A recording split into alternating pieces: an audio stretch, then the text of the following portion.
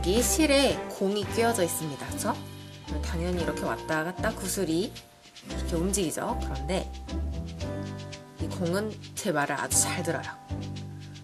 자, 멈춰 있어. 그대로 하면 멈춰 있어요. 움직여. 움직여라. 멈춰. 움직여. 멈춰. 신기하죠? 움직이는 공이에요. 제 말을 잘 들어요. 움직여. 멈춰. 움직여. 멈춰.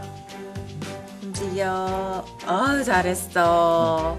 공이 살아있는 것 같네요. 자, 한번 해보세요.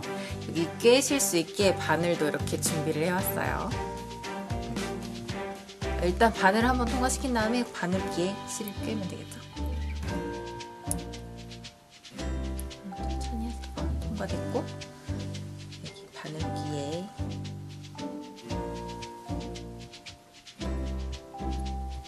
네, 실을 꿰서 통과시키세요.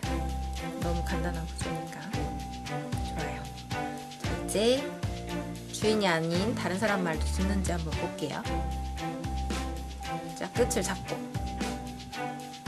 쫙 당겨서 멈춰 한 다음에 이렇게 해보세요. 멈춰. 어, 다시 이쪽으로 멈춰라고 명령을 잘 해보세요. 멈춰.